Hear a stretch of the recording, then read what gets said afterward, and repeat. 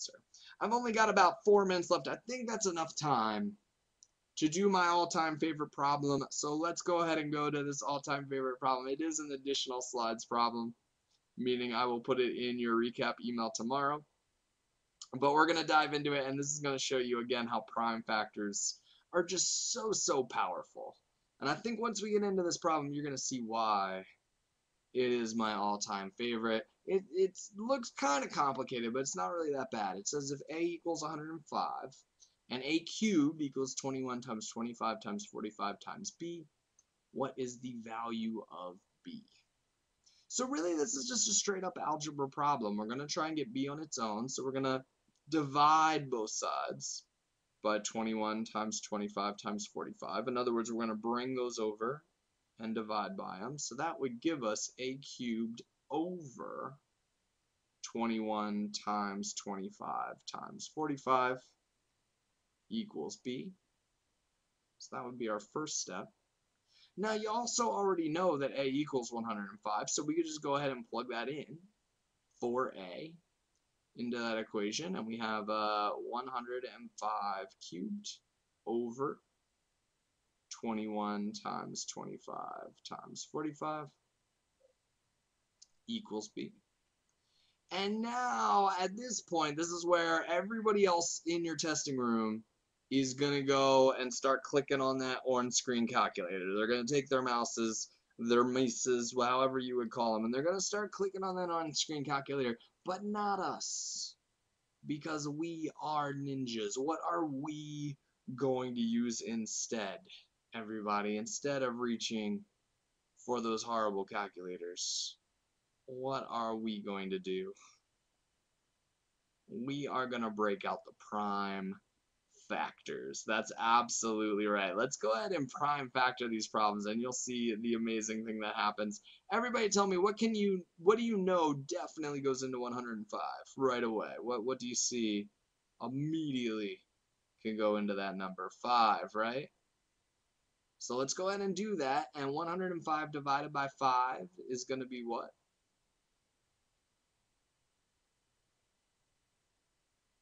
And yeah, it's actually pretty straightforward because 5 goes into 10 twice, and 5 goes into itself once. So that would be 21. And we'll go ahead and break this down. 21 we know breaks down into 7 and 3. That's right, Maria. So 21 we've already done, 7 and 3. 25 is, is pretty easy. That's just going to be 5 and 5. But what about 45? Everybody do that one for me. What does 45? end up breaking down into. Everybody put it in the chat. This is our last problem of the night. I want to hear from absolutely everybody. What are we going to break that down into? We're going to break that down into 9 and 5. Or going just a little bit further, which I see a lot of us did. That's awesome. 3 and 3 and 5. Okay, so here's what we're going to do on top, instead of writing 105 cubed, I'm going to use the prime factors. And I'm going to say, okay, 5 times 7 times 3, there's 105 once.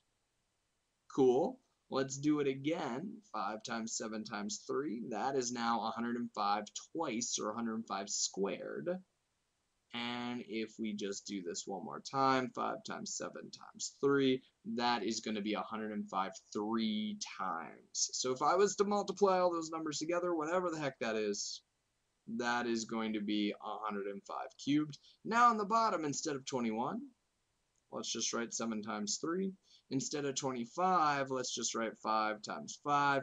And instead of 45, let's just write 3 times 3 times 5. And now, everybody, what do we get to do up here on the big board? Let me hear from ya. Watcha. Ho. Ho. Ha. You. You tried to get away. Ho. Ha. You cannot. Ho. Ha. He ha, ha, ha. And how many survivors, everybody? do we have of this total bloodbath up on the screen? Who are the last two standing?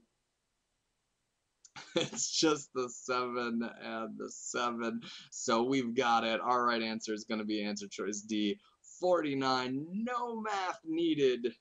No math at all. It's just a matter of breaking it down, seeing the building blocks of your numbers. And if you get really, really good at these prime factors, here's my promise to you. If you get really, really good at these prime factors, you will never do long division ever again for the rest of your life. How does that sound to y'all?